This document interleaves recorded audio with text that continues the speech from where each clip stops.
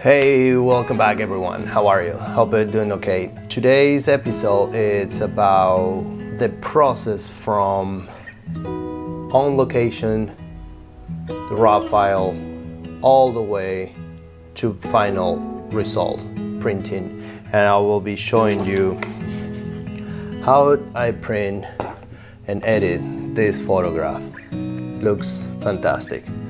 Um, so I was in Page, Arizona, at the Horseshoe Bend uh, last week on my trip to Wisconsin. I drove through several states, and this um, this day, the video that you will see right now, it was amazing. The conditions were fantastic. I, I don't know, I cannot explain with words what I feel. It, it, it was perfect. All the conditions to get together in, in one spot. I have a perfect landscape location. I have a perfect uh, weather. I have rain, sun, clouds, everything, you name it. You'll see it in the video right now. So I'm gonna show you how I capture that photograph and I will show you my my work process in Lightroom and Photoshop and to the final result is the printing that you saw. And it's a long video, but if you want to learn my process, stay to it. If don't, just skip forward until the part that is interesting for you. I don't know, but I highly recommend to watch the whole video. Um, okay, without more delay, let's jump to it. Let's go to Page, Arizona.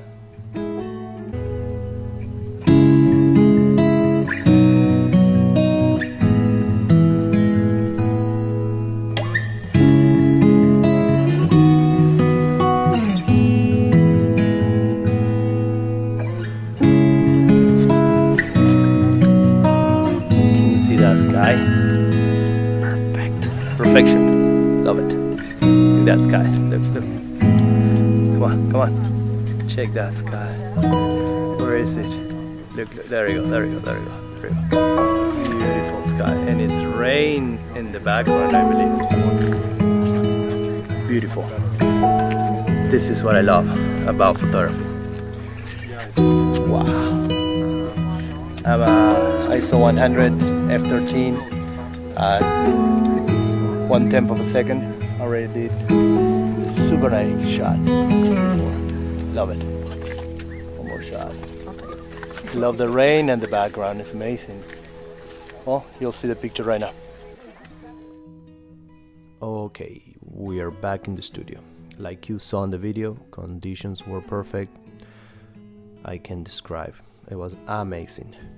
So for the sake of this video I don't want to go too long. I'm going to make as fast as I can I hope you enjoy this and you know follow through. So you you know I hope these tips and my technique help you to edit your photos. And so what I'm going to this is the photograph that I this that I choose that I I'm going to edit this one. And then we're going to print it in the Canson paper uh, at the end of the, the video. So first I'm going to do some global adjustment, the basic panels, and then I'm going to do some local adjustment with brushes, radial filter, graduate filter, and cropping. It will be the last uh, step that I'm going to do today. I always like to crop at the end. I like to work with my photograph. And I believe because of this landscape mode photograph I'm going to do a 2 by 3 ratio I'm gonna keep it in the original ratio that my camera photographed um, so first thing I'm going to lens correction. I always enable uh, profile correction of my lens to avoid distortion because this is an spherical lens very very old lens Tamron. I think it's time to an upgrade for this lens and remove chromatic aberration. Then I go to basic panel. Uh, here I expose uh, my photograph is a little bit under. You can see the histogram here has a lot of dark areas but I like to photograph like that. Not too dark but I like to photograph that. I still have some information here on the highlight. I always like to protect my highlights. Uh, sometimes it's, uh, it's not good. Not every single image will come out good. So I like to do different like a very light one and but in this case this is the one that I choose. So I'm going to start with my profile. I like to work in Adobe Landscape because it gives more saturation to my color. This place, if you've never been here, the soil is very, very orange and when you have a strong sunset color sun like we had today, uh, it become very orange. So landscape is my preference to go. I going, I shoot this at daylight, so I'm gonna go daylight on my white balance. Um, and you can have two options. You can go uh, and try it out this auto. You can click auto and see what it does to the photograph. Actually, it does a decent job. Uh, I like what it did to the to the sky right there. You know, it's good, but there's some areas that I don't like. There is a little dark. Um, but I'm not I'm not disappointed with this. So second thing that I'm going to do for now, we'll get back to that later, but for now, I'm gonna go and check for sensor dust. And like it says, a very old lens, and I know that this lens has these spots. Always have to correct that. That's already in the lens. Or probably sometimes these little particles are inside the field, in front of the filter. You know, I in this case I use a, a polarizer filter, and I use a two-stop uh, graduated filter just to to get more detail on that sky. Done. So perfect. I like I like that. Um, maybe I'm gonna reduce the highlights a little bit more. And you can see how the orange start popping right here. That's how actually was the sky you know. This is this is beautiful. And you know I like I like the haze back there it, is it's unbelievable. Um, so my next step I, I don't like my images too contrasty so I'm gonna take that contrast out. I don't like it you know. And I'm gonna open up my exposure like there. Like almost half a stop. I like that. Um, I'm gonna give a little bit of clarity because you can see all these details on the rock right here. And I'm going to use a little bit of texture the touch like a touch. Because I go if you go too much you can see the fake it becomes that fake HDR and I don't like that fake. That's actually that's not how it is in real life. So but the rock is a little bit so a little bit texture. That that's a, a minimal that's it I like how I mean, I have other composition, but I was here before um, because I'm afraid of height. Yes, don't laugh. Uh, I, my composition last time that I was, I, I, didn't include the whole curve of the river, but this time I wanted to do this, and I went, I braved myself, and I got, I, I got it. I, I did it. Um, so, but I like the the curve of the the river right here is, is, is, is what I was looking for and it's, it's all in the image. Uh, this side right here is is taller than this side right here. So the picture looks like the horizon is not level but it's actually pretty level. Uh, but still we're gonna do that the, as the last step when we crop the image uh, to the desired uh, printing size. So I think I am fine with these adjustments. Uh, I can play with the turn, the the curves, uh, tone curve, maybe reduce a little bit the black, and maybe bring up touch. That, and that's how I like to get contrast on my images, and I think that's that's good.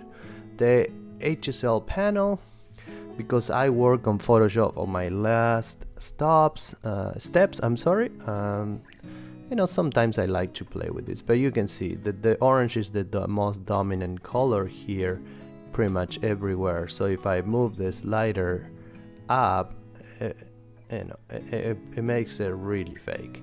So I am going to do that locally. I'm going to touch retouch every color locally, not in a global way.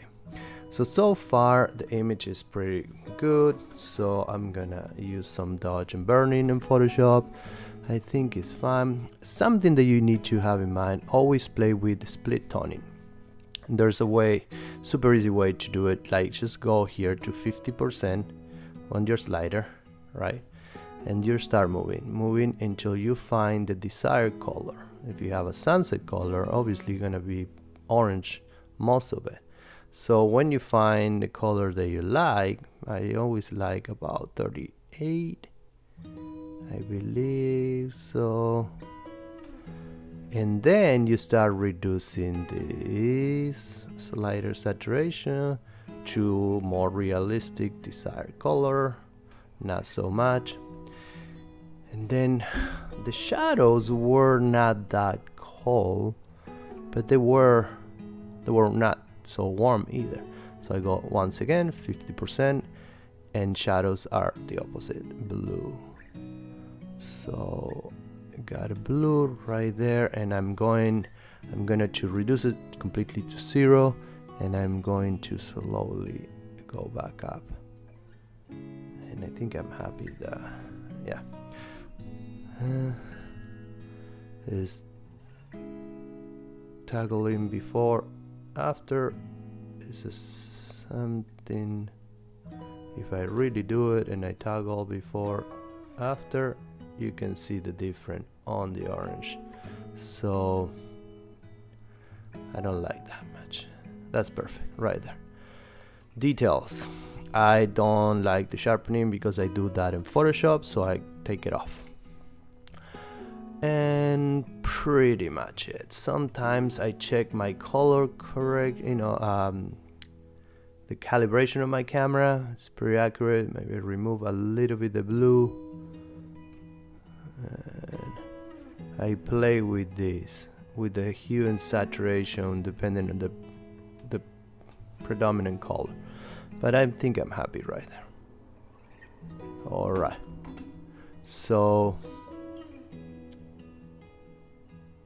so alright so now I'm gonna use the local adjustment and I'm going to start with a graduated filter to darken a little bit the skies and you know just a touch not so much. So here to make a straight line you press shift and drag down. And we'll put it right there in the horizon let's just make sure that I have restored to default custom is zero and I'm going to first reduce the highlight and it brings up more detail on that sky that it was amazing. Then I'm going to reduce the shadows to make it more dramatic. Maybe reduce a little bit the white that's awesome. Sky looking I hope you can enjoy. And not so much my exposure. I think I'm okay there. Perfect. So now my second step will be a radial filter. And here I'm going to experiment something. Uh, because like I always said never never stop exploring never stop experimenting either. This is your art uh, whenever you edit a photograph it's whatever you decide to do. Uh, but this is the way that I like to do it. I'm going to um, create a radial filter in the middle of the image. Right there. I'm gonna go here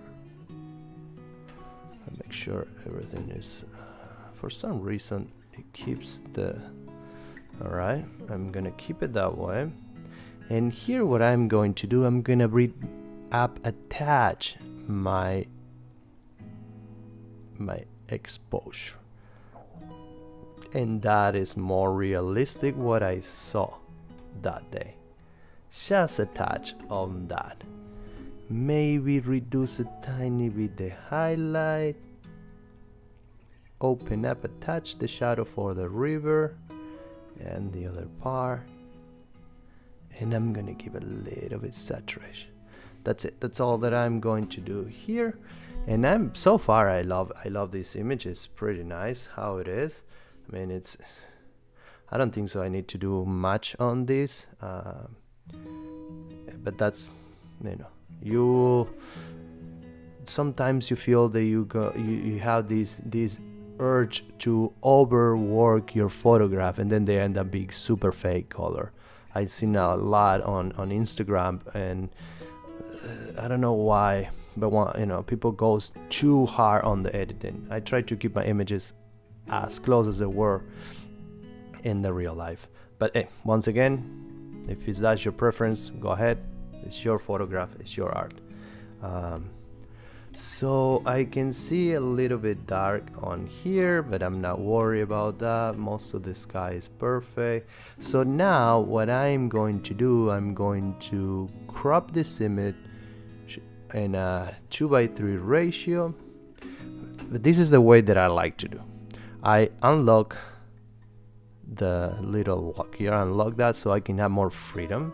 And you can see by the rule of third that it, I think I have more in this side the left side than the right side. It's not so balanced. So what I'm gonna do I'm gonna bring it in a tiny bit so my uh, main character is right centered like I like. Uh, probably I want to keep this here but maybe I'm gonna bring a touch right there. And I'm gonna bring in a touch right there and then I go back to custom and 2 by 3 and that's my perfect. And I think I'm happy. Um, if I press here for correct the horizon you'll see what it does. It changed a tiny bit but I don't know if that's correct because it's different levels. It's not actually a horizon line here so you can have as a reference. Just gonna trust the, the, the software for now. Press enter. That's my picture and I think it's perfectly balanced and now I'm going to take it to Photoshop. How I do that? I press command E and take it to Photoshop. Okay now we're on Photoshop. Uh, first thing here's what I normally use Photoshop is for dodge and burning and uh, sizing and sharpening my image accordingly for for printing so first thing first, like always, Command J to duplicate the layer so I can work on a different layer. And if I have to go back I can go back and I don't dis destroy the original image. So how do I go here? So here I look around. So here here here here I'm going to apply. And for this I'm going to use my Wacom tablet because it's easier for me. So I have this TK7 panel which is super super good to use. I highly recommend you get one of these. There's many of these but for me the TK panel has been really wonderful so far. So I'm gonna create uh, a dodge layer. I'm gonna put my brush. So I press B actually you don't have to press anything. Once you select the dodge uh, automatically select your brush and everything what I'm gonna do is my opacity I'm gonna I like to keep it really low like 20 opacity in the flow 40 uh, percent so I can work slowly on that uh, on that image. And what I do with I just press lightly I don't go hard so I, I just start painting with the light was hitting and and make bring all this back to life. Tiny tiny. So I bring all this color back to life. And, and here is where the lights were hidden. By the way there were people right here camping uh, the whole night. That was wonderful. Uh, one day I want to do that. Alright so then I'm gonna create another one but uh, this time the opacity gonna be less. I'm gonna get 10% and I'm going to paint on the river to light up the river a little bit more. Super super soft painting. Uh, you can I don't know if you can see before after before after. It brings up a little bit that shiny part of the river. Because I use a polarizer polarizer I'm sorry I, I reduce the reflection there. But this now is there. But because it's very subtle 10% uh, opacity and 40% flow it's super super subtle. You can see before after. Perfect. I like that. I am happy with that. So now what I'm going to do I'm going to create another layer with all these adjustment and the way to do that is pressing command option shift E and it creates a different layer with all these adjustment there. So I create a, a, a new layer and in this layer it has all these adjustment here and I'm gonna work on this layer right now and I am going to bring back details from the sky. So for that I use the TK7 rapid mask which is super easy to create and this is working with luminosity mask. I know there's shortcuts and you can create layers but this is so easy for me to use. Um, so what I'm gonna do I'm gonna composite it's the way you use it. you press composite. Then you're gonna choose the mask in the dark or the midtones or the lights. Whatever you want to work in. So right now I'm gonna work on my lights. So I need to choose something that is on, on my highlights and, and so I can bring back detail and create that separation. Uh, I think that's too dark I'm going to use that one. You can modify it you know with all these stuff you can use half of the stops but I think I'm happy with that one. And you can see everything that is white it will be you know affected by my for whatever I do and everything that is dark it will be protected. Remember white reveal blacks conceal. So that's how it is. And then I am choosing a dodge um, and I'm I make a selection. And already I have all selected. You cannot see it here. Is the new thing. Before you used to have like a black uh, layers mask right here. So now it's all selected. And the software as long as it's red right here that means there is uh, activated. As long as that is red it's, is activated the mask so and it choose for you the brush and I'm gonna work highlights. If you can see on the top right here I'm gonna work on the highlights and my exposure is at 50% and once again anything that I paint you can see how the highlights are changing. Maybe it's too much maybe it's too, but it bring it, it makes separation and that's it. I'm only doing it soft right there. That's all that I'm gonna do. So I'll show you before after is a touch of highlights. So then I command D to deselect and I'm going to create another one. Command option shift E. This is the way that I like to work. I know probably there's different ways to work. And I'm now I'm gonna work on the dark color. And probably you can see see everything there is white right here that it will be affected to whatever I do. Um, so that's I think that's the one that I'm going to use and I'm going to only paint in the clouds. And this time I'm going to use a burn um, brush and I am going to do it maybe less than 50 maybe I'm gonna do it 70% so it's not that dark. And I'm going to paint here and everything there is dark is becoming a little bit more dark. And it create a separation in there. And that's it. And let's see. Before after. It's a little touch just to make it a little bit more dramatic. Uh, and I think I went too far. I'm going to reduce the opacity on this.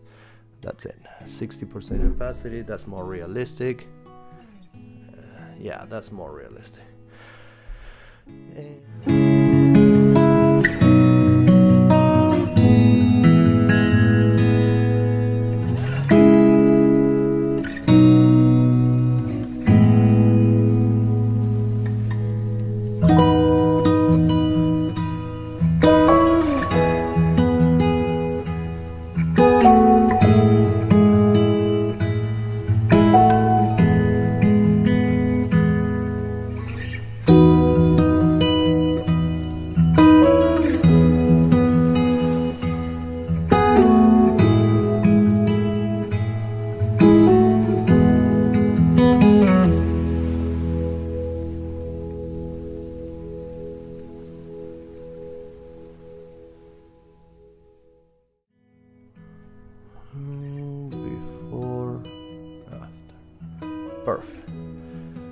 that's what I wanted. I love that picture. Alright and then what I do I create one more layer. And you can apply if you like the Orton effect. In this case I love how it is right here but let's try it you know. Orton effect is super easy. You create a layer, you go filter, go blur, Gaussian blur, and here the radius is going to be um, depending of how many pixels your camera have. My camera has 24 megapixel. I like to go around like 26, you know, 25. Let's do 27. You click OK, and that's your image. just kidding so then you go to image adjustment levels and here you're going to move the highlight all the way to the blowing point like really blowing point and then you make the midtones and the darker and you have this ugly image right there but don't worry that's not the way that is gonna be.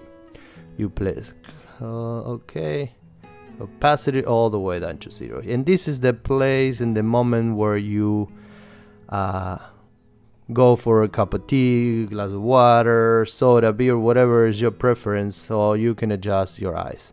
Um, and then when you come back you know your eyes gonna be fresh and then you start going on the opacity as slowly slowly slowly slowly. Normally uh, you can see how the picture start getting that glowy you know dreaming look. You don't go too far because that is too fake and that's nothing. So normally around 16 is a good uh, good for me. But what I like to do here 16 20 I'm gonna leave it to but what I like to do here I like how the effect around this but I don't like the effect on the main rock. So what I'm gonna do I'm gonna create a mask. I'm to create a mask. I'm going to choose the brush and I'm going to use the black color. And once again, I am a 50% opacity and I'm going to start painting here and bring back the detail there. And bring it all back bring it all back. Uh, but I like how it looks on this side you know kind of like on the outside I like I like that effect. I like that that effect of the Orton effect but that's your preference. You don't have to do it. I like it. So literally Or Orton effect is around because my main main subject is this amazing rock named Horseshoe Bend. I love it. So that's it then I'm going to flatten all the layers. I am going to create another one and here's my step for printing. I'm going filter sharpen smart sharpen. And even that the picture is well in focus I like to keep my radius in 0.9 0.8 not so much to avoid this craziness you can see. So 0.8 is where I go. 0.8 and for this type of printing I'm gonna keep it at 300 and uh, reduce noise about 25 this picture was taken at really low ISO and that is how I uh, done. And then I export the photograph and then I print it in Lightroom. So flatten image and we close it save it and the computer send the Photoshop send it back to Lightroom and that's where we're going. All right I'm back in Lightroom so I have my photograph. I already load up my paper. It's uh, 11 by 17 it's I'm using the printer Canon Pro 1000 and the paper is Canson Infinity and I'm using Photo Luster Premium RC and I already did all my adjustment that I need. I did all my adjustment uh, that I needed for this uh, photograph like I say is 11 by 17 but the image is a 9 by 12 so I can put it in a nice frame and a nice car uh, mat around.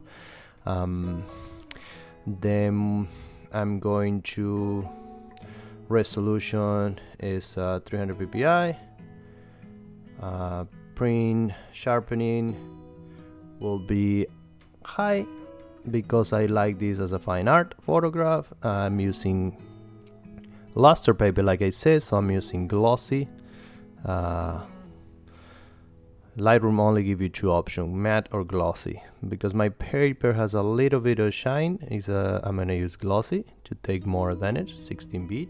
And here is the problem that most of the people have.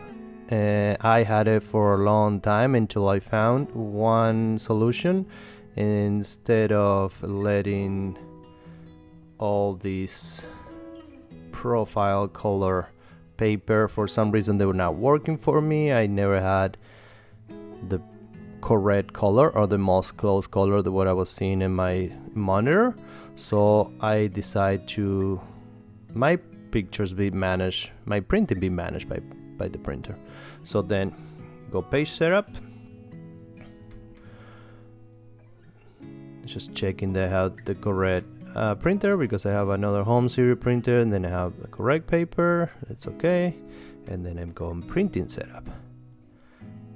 And yes yes uh, I'm going to quality media photo luster paper top feed quality high perception photo is perfect. I click save print okay I hope you like this video today. You know I know it was a little bit long but uh, yeah this is the beauty of, of, photography.